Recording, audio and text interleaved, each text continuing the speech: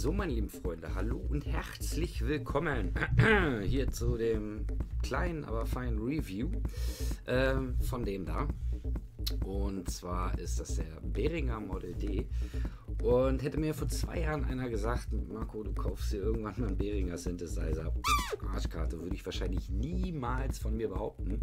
Ähm, denn ganz ehrlich gesagt hat Behringer bei mir gar keinen guten Ruf bisher gehabt. Und das hat sich seit gestern schlagartig geändert. Ähm, Beringer hat den besten Ruf aller Zeiten auf einmal bekommen. Ähm, das Ding ist der Hammer. Das muss man schon mal vorweg sagen. Und ähm, wir wollen einfach mal gucken, was der so, was der so kann, wie er, wie er daherkommt, etc. pp. Ähm, dieses kleine Heftchen war dabei.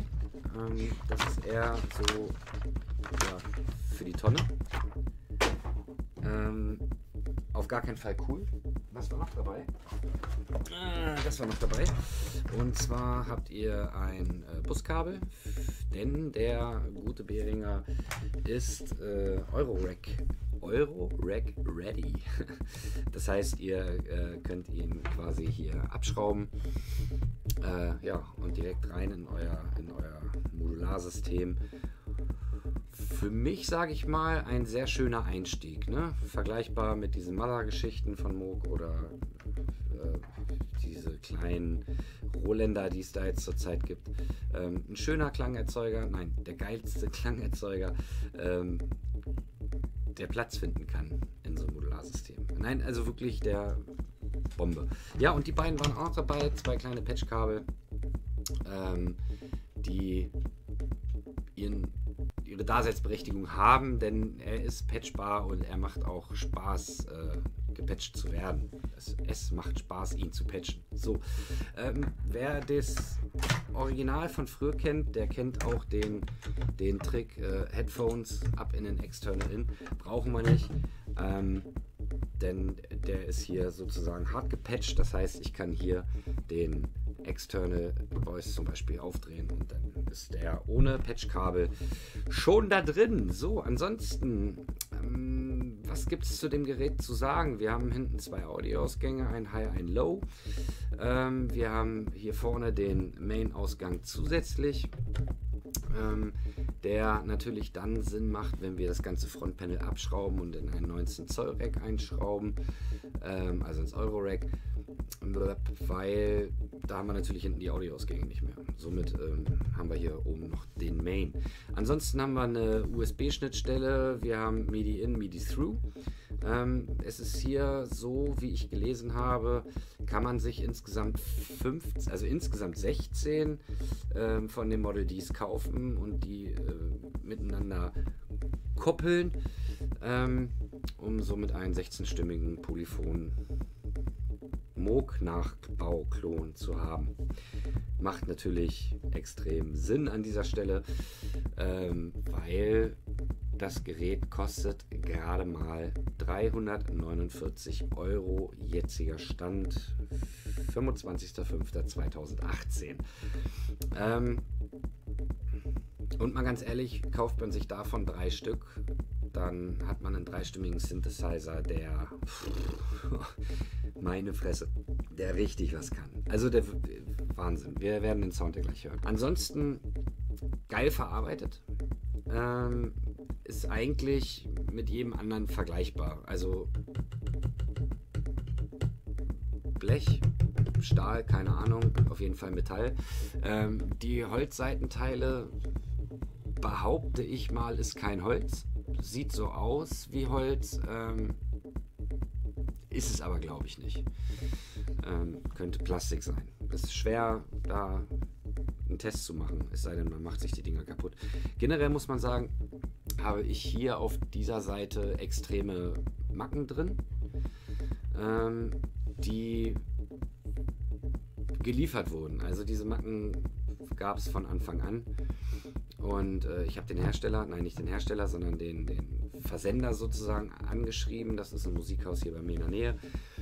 und habe gefragt, Mensch Leute, da sind Kratzer drauf und der hat mir nur eine Mail zurückgeschrieben, so hey, du bist nicht der Einzige, das ist wohl bei mehreren Leuten vorgekommen. Klar können wir dir ein neues Modell schicken, aber wir können nicht vorher reingucken, ähm, weil dann ist das Siegel gebrochen und äh, somit muss ich damit leben in meinen Augen sehr schade, denn Beringer versucht sich hier einen, Ruf aufzubauen, den sie vorher nicht so hatten. Und dann müssen sie aber auch Ware versenden, die 100% wenigstens optischer Zustand äh, erreicht. Ähm, denn irgendwann ist der Zeitpunkt gekommen, wo man sich sagt, okay, ich brauche diesen Synthesizer vielleicht nicht mehr, äh, packe ihn wieder ein, verschicke ihn bei, äh, via eBay dann zu irgendjemand, der ihn gerne haben möchte. Und derjenige schreibt mir dann, hey, Moment schon mal, du hast geschrieben Top-Zustand ähm, da sind aber Kratzer auf der Seite. Das ist äh, wie früher beim Pokémon-Karten sammeln, ist da eine Ecke umgeknickt, dann will keiner mehr diese Pokémon-Karten haben. So einfach ist das. Ja, alles meckern auf hohem Niveau. Kommen wir mal zum Wesentlichen zu dem Gerät selbst. Das Gerät ist unterteilt in verschiedene Sektionen, eigentlich so wie es jedes Synthesizer, wie es jeder Synthesizer ist. Und äh, ich möchte diese ganze Funktion auch gar nicht erklären. Ich denke mal, jeder von euch weiß, wie ein Synthesizer funktioniert, sondern wir wollen uns eigentlich mal einen Eindruck verschaffen, wie klingt das Ding. Ähm, wir haben im Endeffekt fünf eingebaute Oszillatoren. Das ist schon mal Punkt 1. Ähm, dazu haben wir die Möglichkeit, eine externe Quelle noch dazu zu holen. Und diese externe Quelle ist, wie gesagt, jetzt zurzeit hart verpatcht mit unserem Mainout. Das heißt, das Signal, was rausgeht, können wir über den externe hier äh, wieder zurückgeben und können somit den Sound noch richtig, richtig fett anfetten. Jetzt habe ich gerade gesagt, fünf Oszillatoren. Ähm, da werden sich jetzt der eine oder andere sagen, Moment mal, da sind ja nur drei Stück drin. Ähm, nein, das sind ähm, eins, zwei, drei.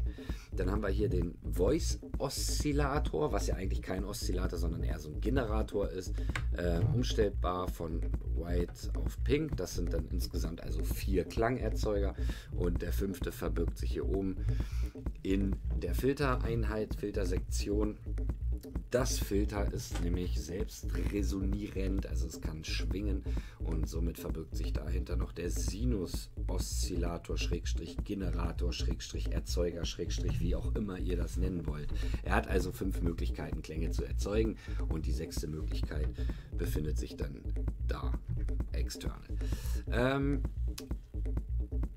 wir haben ähm, die, die Hauptsektion, sage ich mal, mit den Oszillatoren. Wir haben äh, den Mixer, wir haben die Envelope-Steuerung, wir haben das Filter, wir haben den Output und wir haben unsere Modulationsecke, wo sich unsere Modulatoren äh, befinden. Ich würde sagen, äh, wir hören einfach mal rein, ähm, was das Teil so kann. Nein, stopp, vorher noch. Konnektivität zum Rechner. Ähm, das hier ist kein MIDI-Interface im klassischen Sinne. Oder doch, es ist eigentlich nur ein MIDI-Interface oder ist es nicht. Im Endeffekt kann ich darüber äh, MIDI-Signale nur ausgeben. Es ist keine Audioverbindung implementiert, ähm, wie es zum Beispiel bei anderen Herstellern ist. Aber sind wir mal realistisch, 350 Piepen, ähm, da kann man sowas auch nicht erwarten. Also das ganze Ding via USB angeschlossen. Bei mir sind jetzt zwei Anschlussarten. Ähm, ich habe jetzt einmal das MIDI-Keyboard so angeschlossen und das USB, weil ich über, wenn ich alles über USB mache, dann habe ich wieder Latenzen, die ich nicht haben will mit dem Videoprogramm und dann frisst mir das alles zu viel Ressourcen. Also für euch ganz simpel, ihr schließt den USB-Stecker an und das war's. Gut, dann drehen wir mal auf ähm, und überzeugen uns von diesem ultra fetten Klang.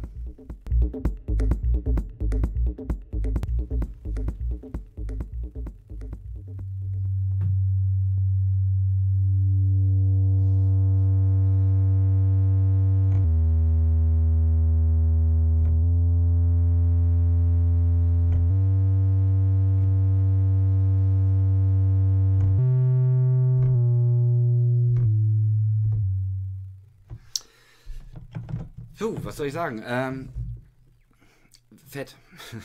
Klingt wirklich cool. Wir haben ähm, verschiedene Wellenformen natürlich pro Oszillator. Wir haben ähm, das Dreieck, Dann eine Mischform, äh, Sägezahndreieck. Dann haben wir den Sägezahn.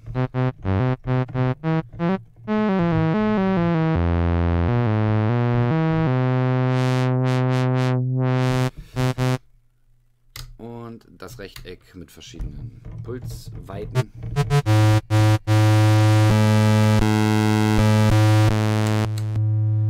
So wie man es äh, von dem Minimoog zum Beispiel gewohnt ist, wenn man ihn schon mal in den Händen hatte. Ähm, ist einfach nur ein bisschen Reverb.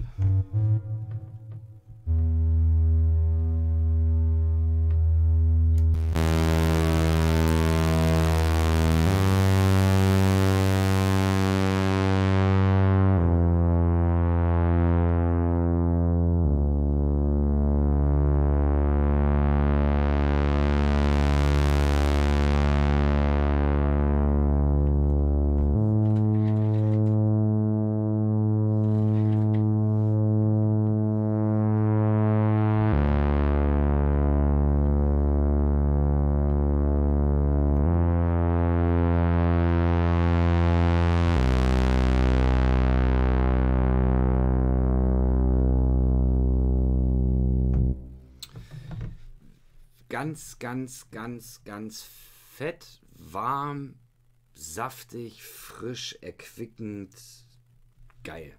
Ähm, für das, was man bezahlt hat und was man bekommt, hat, hat mich das einfach umgehauen. Ähm, ihr müsst euch diesen, diesen Klang einfach auch mal über Kopfhörer oder über, über einen Subwoofer geben, wenn ihr nicht die Möglichkeit habt, ihn mal selber zu testen. Denn er klingt wirklich, wirklich fett. Ich fahre jetzt mal einen zweiten Oszillator dazu. Stimmen wir den mal ein bisschen um hier.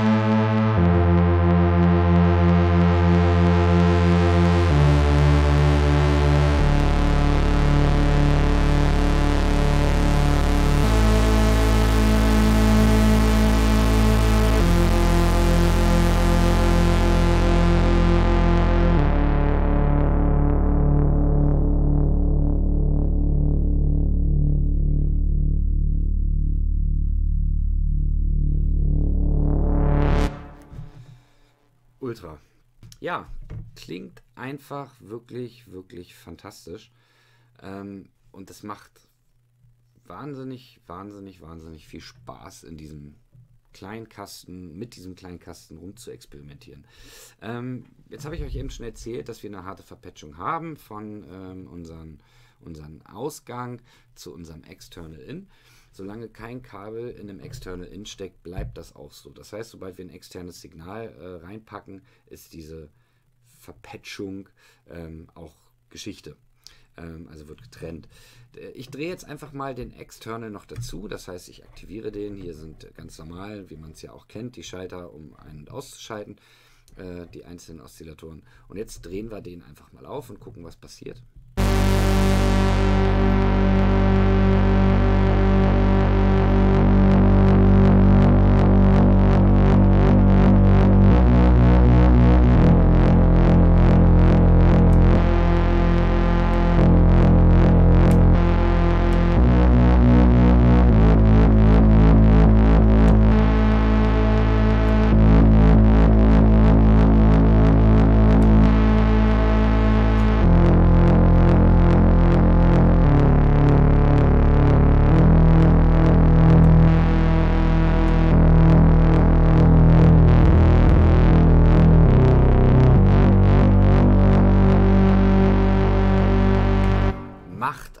Ultra Spaß, weil der Sound einfach satt wird. Wir übersättigen quasi den Sound und äh, können damit so richtig schön eklige, dreckige, ah, ihr wisst schon, was ich meine. Wir hören uns das Ganze mal ein paar Oktaven höher an.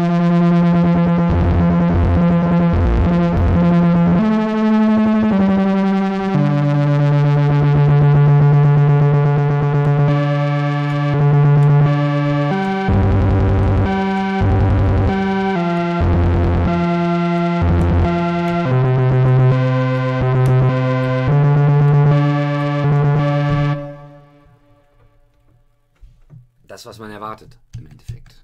Distortion in einem New Level. Also es macht wirklich, wirklich, wirklich Sinn und auch Spaß, dieses, äh, diese interne Verpatchung. Ähm, fahren wir mal den dritten Oszillator dazu. Den stimmen wir einfach mal so. Machen wir ihn ganz hoch.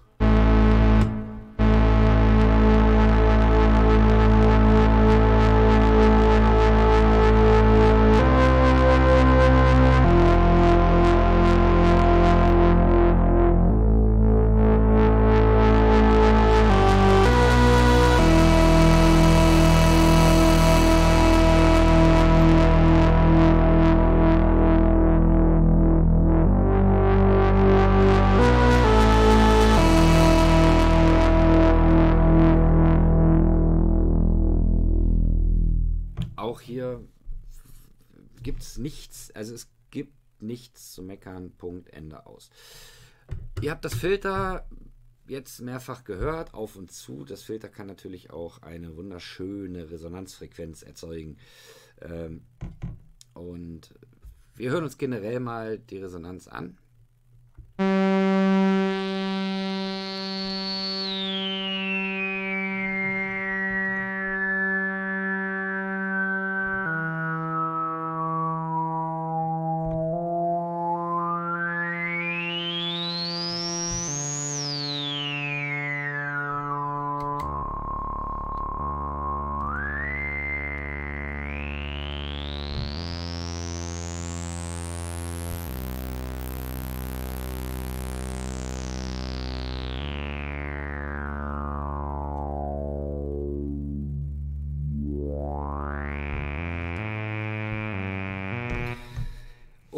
Natürlich auch hier die Funktion über die blauen Taster ähm, zu sagen, folge dem Keyboard.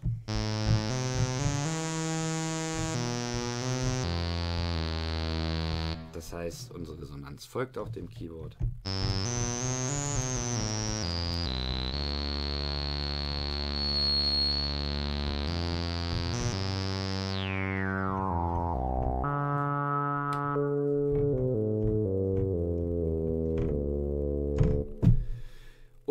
Ihr habt natürlich auch dann die Möglichkeit, diesen Oszillator alle auszumachen. Hier zu sagen Control und volle Resonanz aufzudrehen und den Filter zu schließen.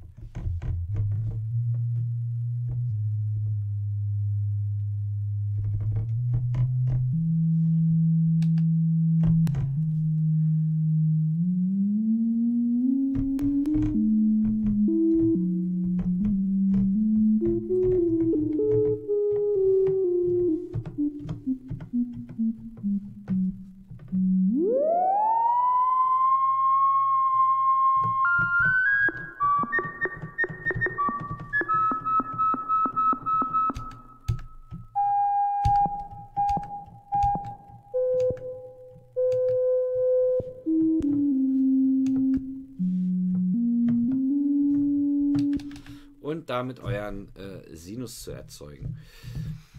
Ja. That's it. Wir haben natürlich viele Möglichkeiten. Wir können die äh, Höhekurve oder den Filter über eine Höhekurve ansteuern. Ähm, und das werde ich euch jetzt mal kurz zeigen. Dafür lasse ich einfach mal eine Spur bei Ableton laufen,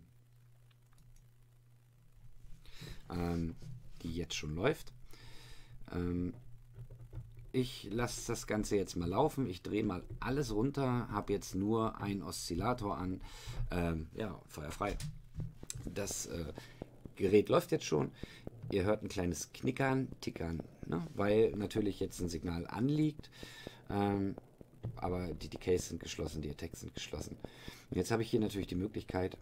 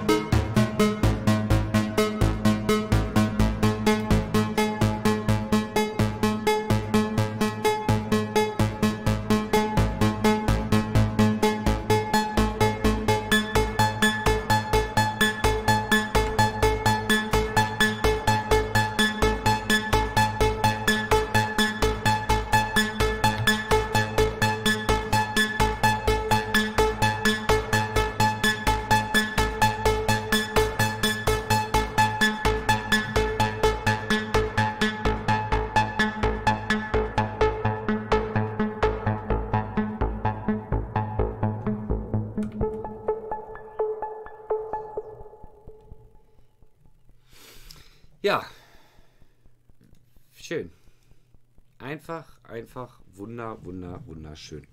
Ähm, für den Filter selber gibt es seit der Behringer Variante einen Umschalter von Low zu High. Den hören wir uns mal an. Dafür müssen wir erstmal wieder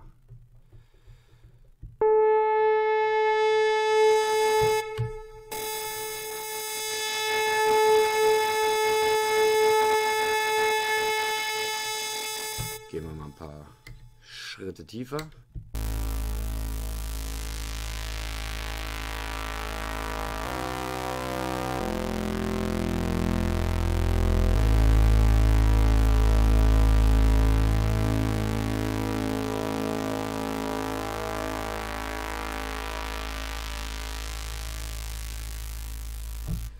Und geben eine ganze Menge Resonanz dazu und dann hört ihr was.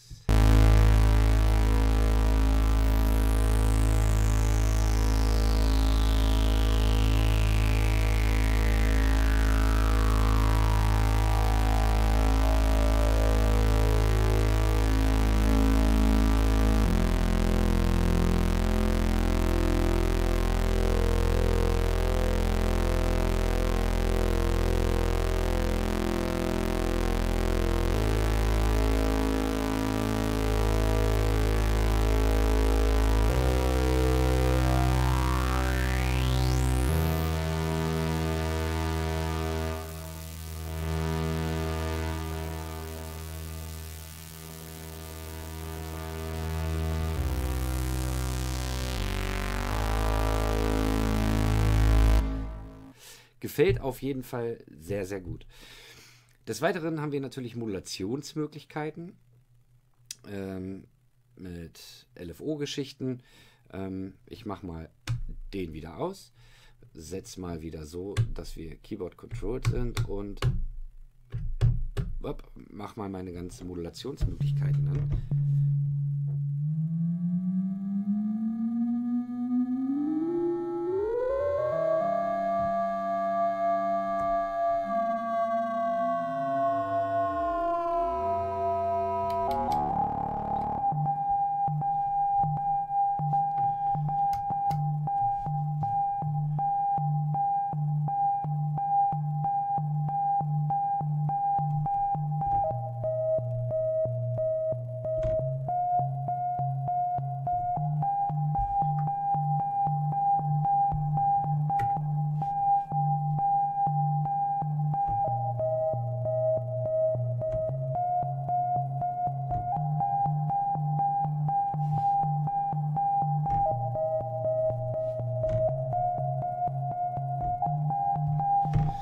Das heißt, im Endeffekt nutzen wir jetzt hier unseren dritten Oszillator ähm, als LFO und der ist natürlich auch von der Wellenform her umschaltbar.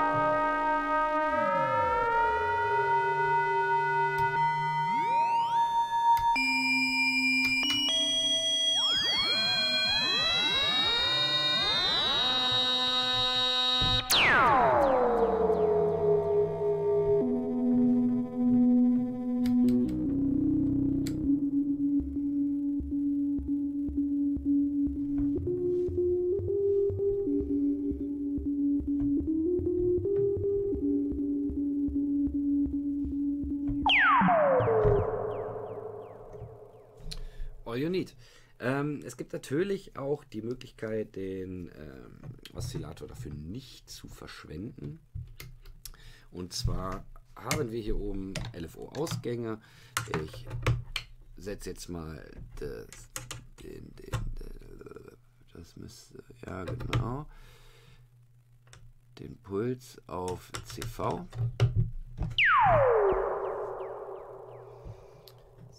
So.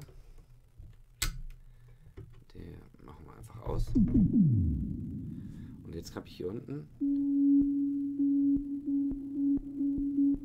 den einzelnen LFO.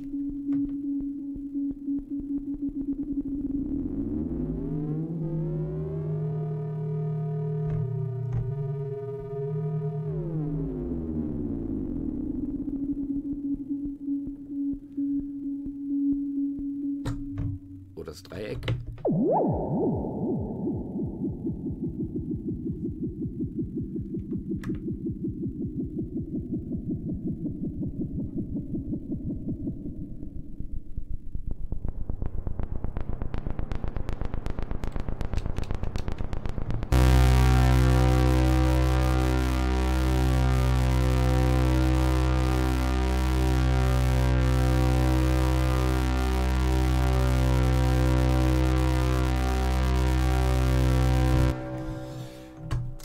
Womit ich dann spielen darf. Ich habe auf jeden Fall für mich festgestellt, dass es zwei Wege gibt zu modulieren und dass auch beide Wege miteinander kombinierbar sind, sowohl LFO als auch LFO als auch LFO. Also ich kann das Ganze so ein bisschen miteinander und ähm, dann kommen da ziemlich, ziemlich, ziemlich verrückte Sounds raus und was soll ich sagen? Dieses Ding ist eine absolute Empfehlung von mir.